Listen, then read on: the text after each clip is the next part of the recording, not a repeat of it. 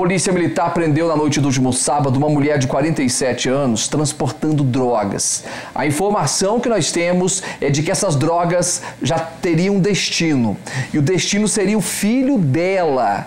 Aí você fala, o filho dela tá onde? Eu conto. Gente, filho da mulher tá, no, tá na unidade prisional de Três Corações. Você já pensou, gente?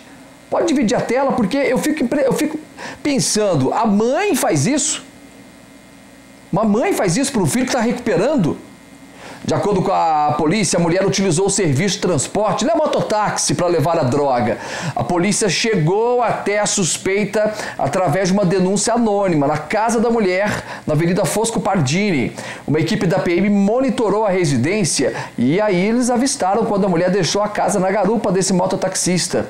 Durante a abordagem, os militares encontraram na bolsa dela 10 porções de rachixe e 14 buchas de maconha, além de materiais para embalar as drogas né? Tinha 60 reais também em dinheiro. Olha aí, tudo isso na imagem. Fala a verdade. Bom, ela foi presa, hein? Ela foi presa, foi encaminhada à UPA e na sequência foi para a delegacia da Polícia Civil. Uh, reeducando.